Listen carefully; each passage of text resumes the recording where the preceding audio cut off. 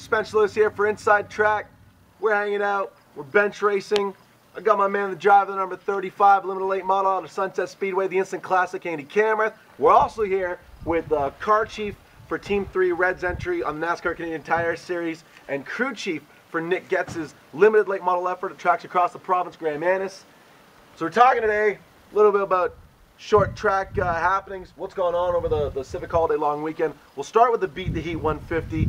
Andy, Shawn Chenoweth in that London recreational ride, picking up the win at Sauble Speedway. Kind of the way his season's gone, Chenoweth another dominating effort, this time at Sauble. Yeah, Sauble's one of those places, you know, you're going to have a couple limited late model guys step up and with the huge weight breaks. Um, Jason Parker, he led for a bunch of it. Well, not, not really surprising, but at the same time, you got those coilover cars you get better shocks, you get better tires, everything like that. Them guys know their cars inside and out. So and Chenoweth had a monster season, so it wasn't really surprising.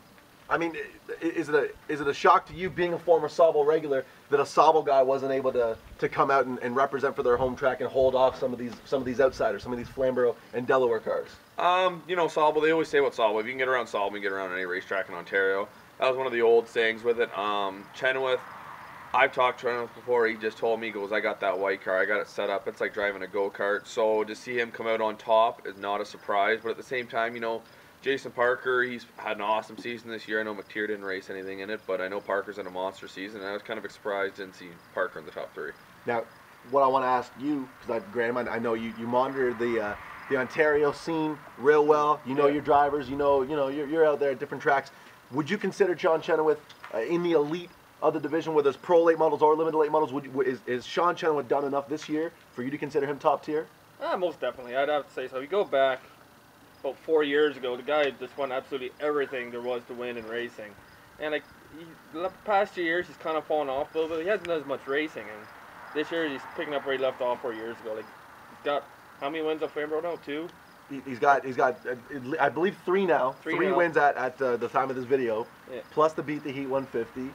You know, leading the points right now in weekly competition at, uh, Flamborough. I I'd definitely say, he's, to me, he's probably like the most elite pro late model driver we have in province right now. And just like guys, he can drive. I mean, it really speaks to that that London recreational racing team. When you look at what, Mike Mike Schmidt has assembled, when you got Chenoweth leading the way. Andrew Gressel has had a monster season with the OSCAAR Super Late yeah, models. Oh, he's, yeah. he's, flying the, the London Rec banner. You got Brad Collison. You got Russ Aiken. I mean, there, there are so many guys coming up uh, right now. I mean, Jake Collison doing monster things in the go-kart ranks out of the Waterloo Regional Kart Club. He's running for London Recreational Racing. So Mike Schmidt has an eye for talent. He's assembled a, a huge team. Chenoweth just bringing home another another trophy for the case over at London Recreational Racing. A good segue into my next topic. I want to talk about the OSCAAR Super Late Model Tour. Brandon Watson at Peterborough Speedway on Saturday night. He got the win in 50 lap competition. Uh, a bit of a snooze fest with Watson sort of checking out on the field we know how good the nine car is at Peterborough. Yeah. Just another example of that. Oh yeah, most definitely. Like, no, Brandon Watson's team, like they don't they don't screw around. They don't beat around the bush. They they know what they're doing. Like you got Tim Watson, Brandon's dad. He's a real smart guy. You got Stevie, like another smart guy. He's probably like one of the smartest guys in the province. Stevie Lilico, absolutely. Yeah. Like, no, there's no doubt. There's no reason why he shouldn't be running every race this year. I mean, is it a is it a is it a surprise that someone like Jeff Hanley has? I mean, I know he's not running the full tour, but he's coming now. He's made three starts at Sunset with you know the double shot at the Biederman. He was out at Sunset uh, last week. Three starts, and we have yet to see the 70 car with a win. He's got a podium finish, but that's about it. Given how successful and how dominant Hanley's been in the in the last couple of seasons, is that a surprise, Andy?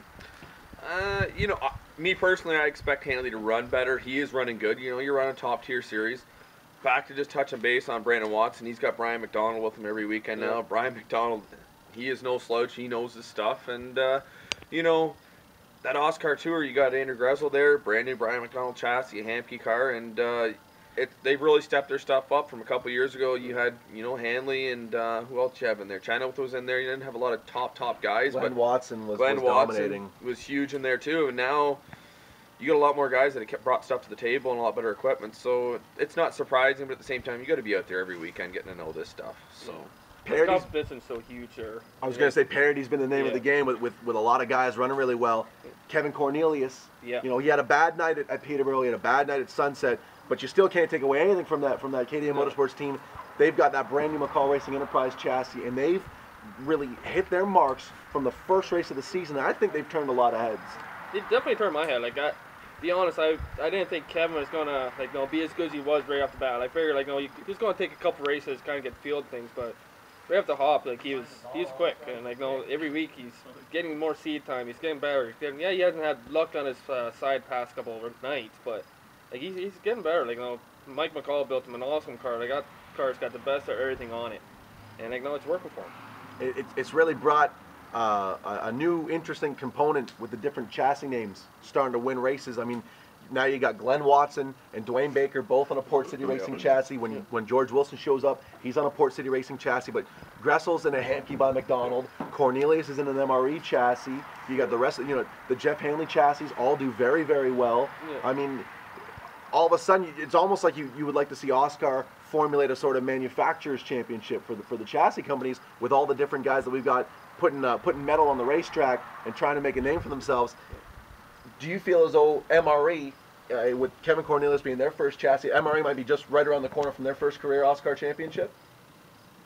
Yes and no. I don't. I don't. I, I think no not doubt. not necessarily with Kevin Cornelius driving. I'm, I'm thinking maybe that 17 car might sell a few chassis heading into 2014, 2015. Yeah, no doubt. Like you know, doubt, no doubt. McColl makes an awesome car. Kevin Cornelius being his first year, he's doing a great job at it. Um, but like you said, uh, you know, you got uh, Dwayne Baker that got a Port City car. It runs awesome. Uh, Glenn Watson, Port City car, runs awesome. You know, maybe maybe there's a bit more, like you said, competition there with the chassis wise. You know, Jr. He's come out quick, but not really had the luck this year. That's an FLF car, stuff like that. It's uh, Hanley. He's always got good stuff. When you step into that super late model division, there's a lot more guys there that can, well, you know, get you what you need. Not just you know, you're not just sticking with that one chassis manufacturer. I'm going to ask you, man. Uh, Brandon Watson has led the points from the beginning of the season. You know, he's racked up victories. He's gone to victory lane. He's, he's had dominant performances. Still on top of the points. Is there any chance we could see someone come in and, and, and topple that number nine team through the back half of the year? I don't think so. Like Brandon, he's just an unbelievable driver. Guy's got so much talent, like so much wheel control. It's gonna be hard to say. Like we might be seeing a guy like Kevin maybe step up just a little bit more, maybe knock off a few wins as he's getting more comfortable in the car. But right now, I don't, I don't really see it happening. Maybe maybe Gressel, but I really don't see it happening. OSCAAR Modifieds, uh, they they've you know they're this they're a good feeder division for the super late models, and they've got a phenomenal assembly of talent. I mean, there's a lot of good quality young drivers coming up. There's different chassis makes. They've got everything uh, an interesting series needs. They've had a bad couple of races. They've lost uh, a couple of a couple of good cars now with the instances that have come up, but there's more questions than answers when it comes to guys like Brent McLean, guys like Gary McLean. I mean, Brent McLean looked brilliant during the Don yeah. Biederman Memorial weekend. He had a win on night one. He was second on night two. Yeah. Now he's had two events where he sort of missed the setup a touch. Is the seven car maybe feeling the pressure of, of being at the top of a high profile tour? Does that have something to do with it? Or has it just been bad luck for that team? Uh, I, I think it's a bit of both. Like to me, you kind of create your own luck. And if you're if you miss something at the shop, you're gonna miss it at the track, and that's like that's the biggest thing in racing. Uh, it, you can say it might be just because he missed a setup or something like that, but it could be just pressure getting to him. It's very hard to say, but I think it's just a combination of a whole bunch of things that are getting to him. I mean, hard work beats talent when talent doesn't work hard. Yeah. Gary McLean dominated 2012, won the first championship, swept Sunset, went to victory lane at Delaware. I mean, he, he was the show anywhere the OSCAAR Modified Tour went. In 2013, he's got a good program. He won the season opener, and now he's won two in a row at Sunset and Peterborough. Has it been a surprise to you watching the OSCAAR Modified Tour that that season hasn't been Gary McLean sort of showing the way like he did in the inaugural tour? Uh, yes and no. Like, you know, with Brent McLean, yeah, he's he's been running good, no doubt. But at the same time, he uh, he's been doing a bit of super stuff too. So maybe that's taken a bit of focus. I've done double duty before. It ain't easy. It ain't easy keeping track on two cars. Um, you know, Gary, he's been really good this year, but not as much luck. But at the same time, you know, Greg's not always, he's back working with Scott Steckley in the Canadian Tire Series stuff, so maybe not all his focus is going on that. You know, Greg's a very smart guy, and you got guys like Davey Terry. Hanley works on his stuff. More good equipment, stuff like that. Shane, Shane Stickle Shane has that Stickle. Troyer by McColl yeah. Racing Enterprise chassis. That car mark my words, by the time you're watching this video, he may have already won a feature. Yeah, that car, he's next in line. I mean, Stickle has been very, very good. He was a stud in the Canadian Vintage Modified ranks. Oh, yeah. He's coming for a victory. I, mark my words, quote me on that one. Stickle will be in victory lane by the end of the season. Moving forward, Peterborough Speedway, late model division. I got to give them kudos. for you know, say a handful of seasons, the Peterborough Speedway division, their, their, weekly limited late model class has been a bit of an afterthought in the in the provincial scene. Yep. You know, no one really paying attention to, to the type of talent they have out there. Now all of a sudden, we're seeing Craig Graham, we're seeing Chris Mitchell on a regular basis winning races out there. Kelly Balson is fast when he shows up. Yep. Steve Foster and Corey Horner have both gotten their first career limited late model wins. Jack Horner's fast out there. All of a sudden, are, are we seeing a reemergence of, uh, of Peterborough Speedway as a player once again in the limited late model scene? I would think so. Like, like you said, uh, for past like you know, five or six seasons, Peterborough just kind of was like a like a starting pool for all the guys that are trying to get into late model racing. Don't have the experience on the money. You can go there and some run somewhat decent. Can pick off the odd win, but I think uh, the talent pool is definitely getting a lot deeper there, especially if Cork Speedway cutting uh, getting cut there. You know, you got Craig Graham that came over from Cork Speedway. He's won what, four races this year so far, leading, leading the, the points. points. Like, you know, Brian Mercer shows up every now and then. Dan McCaddy shows up here now. Whenever they show up, they're quick. Like, I think I think Peterborough Speedway is definitely coming around for as far as the late model division is coming. And now, as a driver that's real familiar with the different rosters across the province, where would you rank Peterborough amongst uh, amongst the, the, the, limited late model scene in this in this province? I think Sunset's got it hands down, no doubt. Sunset is the deep end of the pool. If you go to Sunset and you win a race, you're getting the job done. But Peterborough, you know, they've mixed that ACT thing a little bit. Um, from a driver's standpoint, yeah, you know, the ACT cars aren't allowed to run bumps, but your big spring cars, you're allowed to run bumps and stuff like that. It's kind of get a guy in there, the big spring car on bump stops, really knows what he's doing. He's gonna, I think he's gonna give these ACT guys a run for their money. It's just the way they've assembled the rules with the 603s, the triple discs. It's um, you know, from running a lot of 75 lappers, maybe a, maybe you know the triple disc could it'd get the job done in 30 laps. Over 75, you know, you may wear those tires out a little bit more, but you know, Craig Graham, he ain't no slouch either. When handsome Chris Mitchell won the Autumn Colors Classic in 2011, everyone sort of took a step back and it was like, wow, you know, a Peterborough Speedway regular won the Autumn Colors Classic for the first time in the limited late model division's history. With the assembly of talent they have now, with the roster they have now, is there a chance that 2013 could see a Peterborough car win that event for the second time in three years? No doubt. No doubt. Like, uh, you know, if if I was a Peterborough Speedway regular and I didn't win Autumn Colors or I didn't see a Peterborough, you know, car win, I would be disappointed. You've turned thousands of laps on that racetrack beyond what everybody else has done, so I'm going to expect to go out and win. If I when I was racing Sauble, somebody come into my backyard and won, I was disappointed. So, you know, you got the setup, you got the setup notes, you got guys that are 20, 30 guys that are going to come in there for a weekend and say, you know, come into my backyard, don't have as many setup notes. You're not expecting them to be as fast, but at the same time, there's so many good cars out there these days, and uh, you never know what could happen. While we're down the core of the Lakes region, Mosport Speedway, yep. Canadian Tire Motorsports Park, we're two weeks removed now um, from their final event.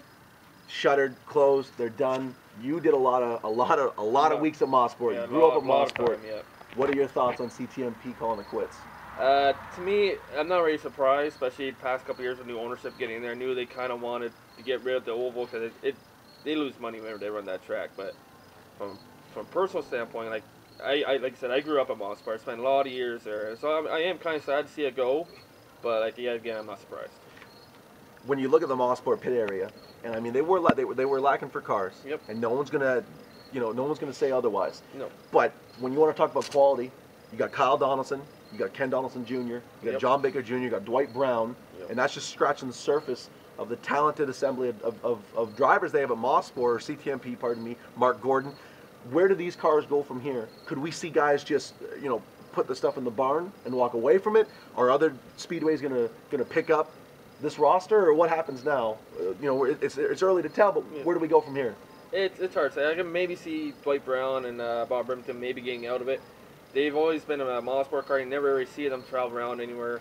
I think you might see Mark Gordon come to Sunset, Kyle Donaldson, and Ken Donaldson. I, I wouldn't be surprised to see them at Flamborough, maybe in uh, Peterborough. Like no Link Brown, you probably go to Peterborough. It, there's a lot of talent there that's got nowhere to race right now, so a lot of tracks could really feed off that. And really, when you look at the, the ACT type cars, with Kawartha closing, they had an option to go down Mosport. CTMP accommodated them, as did yep. Peterborough with CTMP closed now, if you've got an ACT style chassis, you're either racing in Quebec doing the odd show on the ACT tour, or you've got to go to Peterborough. Yeah. You don't really have an option now. Uh, you, you can go to Flamborough or Delaware and try race ACT, but the way that Flamborough and Delaware have their rules right now, like they don't give any breaks for the ACT cars. which I think they need, especially when you're trying to race against 400 crate horsepower. Like it's just you need uh, like you know 50, 100 pounds taken off because when you go to Flamborough, they actually want you to run full ACT rules on your 8-inch tire, 8-inch Goodyear, your two-barrel carburetor, and like don't try running that against the 400 horsepower crate engine on 10-inch rims on American racers. Like you, you just can't do it. We wrap this up. What I want to know so far, 2013, we're a week past the halfway mark. What's been the biggest story of the season so far for you? Biggest story of the season so far, honestly, probably the points battle. You know the everybody being so tight right now. Um, even just at sunset, the not seeing one guy constantly come in and dominate. Like you seen Mike Bentley, what five five features last year? Yep. Five features last year, stuff like that. Um, he's only won one, but leading the points. Um, Jason Woody, he's won three, but at the same time, you're not seeing a dominating thing. Let's we're not coming from the back and going to the front. Last weekend, you've seen the fast cars get to the front pretty quick. So you know, I, am liking seeing Sunset. It's big. It's you got a lot of big variations in chassis right now. You know, you got a McColl car leading the points. You got a Port City car in second, and then you got a streamline, streamline car in chassis. You know, stuff like that. SRP. Actually, two McColl cars, sorry, I should say, for top two. But then you got a Port City car in fourth, and uh, good mix in there, good racing. Um, I can't really built motors to crate motors, awesome mix there right now. I can't really complain biggest story of 2013, uh, barring CTMP closing, because we already touched on that. Uh, I think this is how much everyone in the province has stepped up their game. Like, look at Billy Zardo. He's got got two feature wins this year. Like, that's yep. huge for him. Like, especially like even at Sunset, that shows how much talent there is at Sunset now. How much how good the competition is there. Like now, especially you know, Jason Whitty's got three wins so far. Like, and they, four if you include the 75 lap, or Like he's uh, it's hard to say what the big surprise is. Like this, the whole racing in general has just been a big surprise this year. For my money's worth, to wrap this up, my biggest story of 2013 so far, Thane Halliburton, the Hillsdale Hurricane. Yeah. Right now, through the first half of the year, he's averaging a win at Barrie Speedway every other week. You know, and, and they've got that's they're they've been nice. You got a strong 16 car field there. Yep. It's a paper clip. There's not a lot of elbow room. No. You know, you got to grease yourself up real good if you want to come up through that field. If you want to come up through the back, Halliburton is putting up big numbers up there. Shepherd's had a monster season, but Thane Halliburton, in terms of Barrie Speedway regulars, I would say is probably the most promising driver under the age of 30 at Barrie Speedway. He's had a colossal season right. so far. If he can keep that up, that'll be the biggest story of 2013, I think, is, is the Hillsdale Hurricane Thane Halliburton oh, yeah. at Barrie. Like, those are Dwayne Baker numbers from last year, and everyone knows how good Dwayne Baker was. Like, that's huge. Shepherd and Halliburton have, have taken up permanent residency in the Barrie Speedway victory lane. Anything you want to add, Andy? Well, touching base on Barrie. you know, you, you take a guy like Dwayne out of it from last year. That's one good, strong front runner car. He's going to run to the back to the front, no doubt. I think Barrie's it's got good competition there, you know what I mean? But uh, I'd like to see some more, like Gordy traveled on the weekend. Like seeing him travel. I'd like to see some more of these Barrie cars travel. Scott McTeer, I'd like to see them travel a little bit more. You know, let's see what they can do and uh, mix everything up in the off season. Anything else? Uh, I just like racing how it is right now. I don't think there's right now I wouldn't make any changes. But I think in maybe three or four years, there's going to be some big changes come towards the late model division. So there you have it. That's bench racing for Inside Track. Follow me on Twitter at Spencer Lewis. What's the Twitter handle? Andy Kamrath at 35. At Andy Kamrath 35. What's your Twitter? How many how many followers do you have on Twitter right now? Not not enough. We need to we need to hurry that up. Y'all need to follow yeah. Graham Annis at on GTA Twitter. Yeah, at GTA Racing 77. At GTA Racing 77. He will he will I'll follow you back. He'll cut you a check. Yeah. I don't know for how much.